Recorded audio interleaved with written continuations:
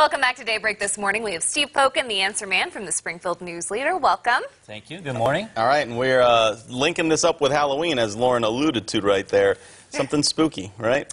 Yes, uh, that is uh, regarding historic City Hall uh, in Springfield, which is on Boonville and Chestnut, just down the block from the uh, from the News Leader. And this was a viewer question. They asked you, what's the deal with what? It, it wa well, actually, it was. Uh, I gave a bunch, a shout out to the history teachers at Rogersville High School. Uh, I gave them a tour, of some little history, and uh, Chris Allison, one of the, the teachers there, had a question about the gargoyles. Uh-huh.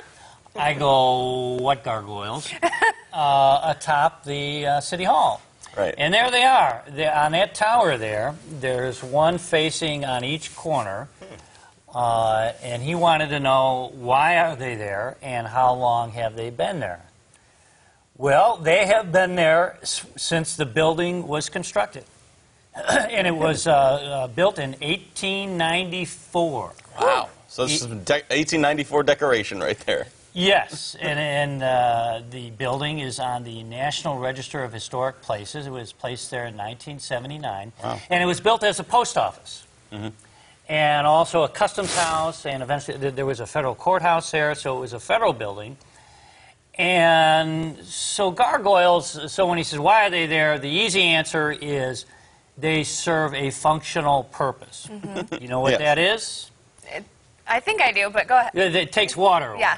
It's a Oh. downspout. Okay. So if from uh, it's Gothic architecture goes back to France in the 12th century, and the stonemasons realized that you extend the gutter or the drain pipe a little bit, and then you can have a little fun, a little flourish with the face, a Yeah. Yeah. lion or something grotesque or whimsical, and the water comes out of the mouth. No kidding. And I read there are a few reasons, sorry, I didn't mean to hit you, a few reasons uh, for the name gargoyle, but one of them is because it makes like a gargling sound when the water. I did not know. I, I did not know that. That kind of makes sense. Yeah, the other one I think there are ties back to Roman history too, because there, there's some people believe there's a spiritual meaning to the gargoyles, which is kind of how we tied it into Halloween, but that's not really the case here.